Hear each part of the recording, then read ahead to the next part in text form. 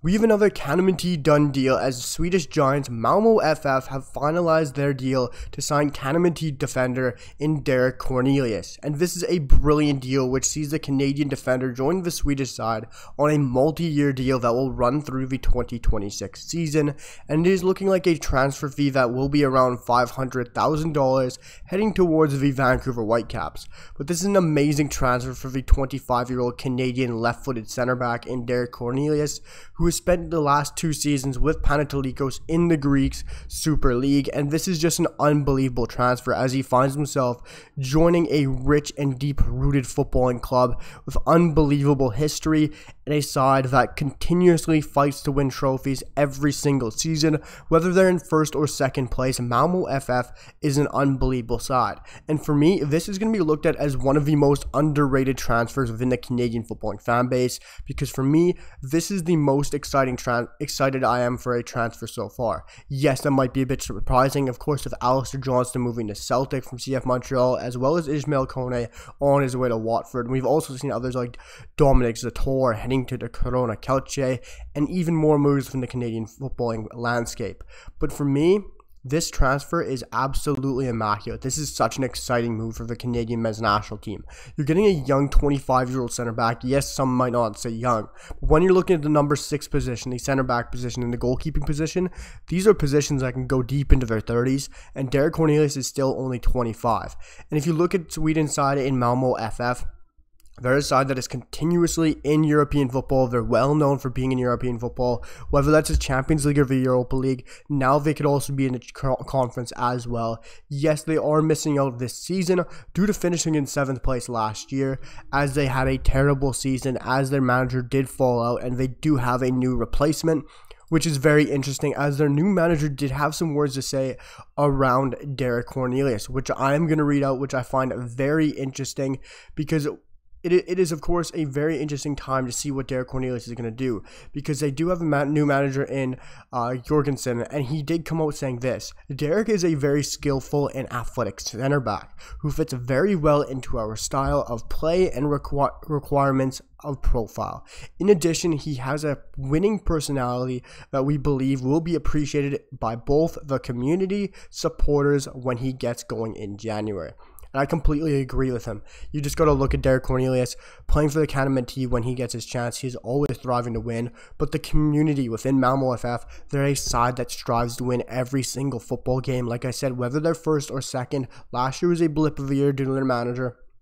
This side is constantly winning titles, whether it's the Swedish Cup, whether it's the Swedish League. Malmo FF is a giant footballing club.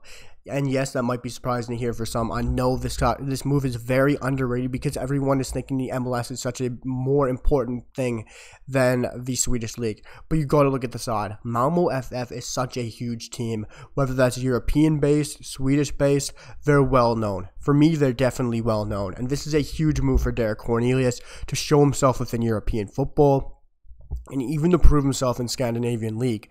You look at the Swedish League, the Norwegian League, they're always unbelievable at producing talent and getting players to make that stepping stone. Malmo FF could be a huge stepping stone for Derek Cornelius. Say he has one or two unbelievable breakout seasons of Malmo FF in the starting lineup, he could earn himself a huge transfer. He'd only be 27, and that is still extremely young for a center back, like I said. But this is a great move. The manager really wants him. He's talking highly about him. There's been a Malmo FF, a diehard Malmo FF fan in my comment section talking how he is excited for this move as well. He's looking forward to seeing Derek Cornelius and how he expects him to be fighting for either that one, two, or three center back role, which is exciting to hear from a diehard Malmo FF fan. And for me, this is an unbelievable move. It's very underrated. And I, I completely am very excited to see him in January for Malmo FF. But guys, this is such a brilliant move. If you look at what Derek Cornelius brings, he's had a 7 match rating across his 13 appearances for Panathinaikos this season.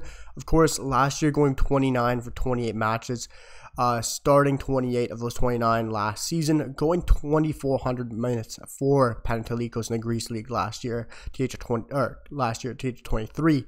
This year, starting 13 and playing all 13 for Panathinaikos, Derek Cornelius has been fantastic, and I think he could very much power himself into the CanMNT starting lineup. I think he is way too underrated. A very fast, skillful, skillful, very good in the air as well very pacey, good on the ball. Derek Cornelius has it all, and I'm very excited to see what he can do with Malmo FF in a winning mentality league. And guys, make sure to drop down below, hit that sub button, drop a like, and a comment on what you guys think of this done deal for Derek Cornelius.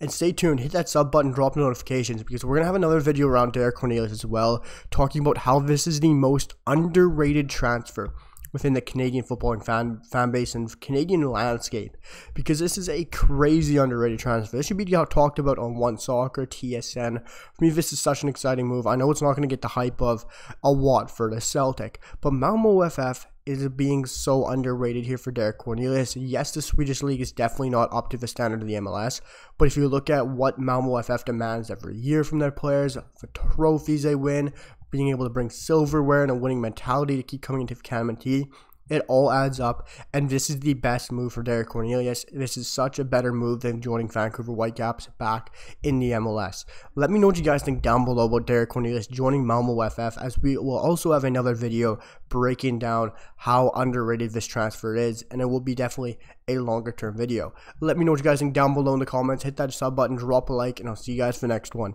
Peace.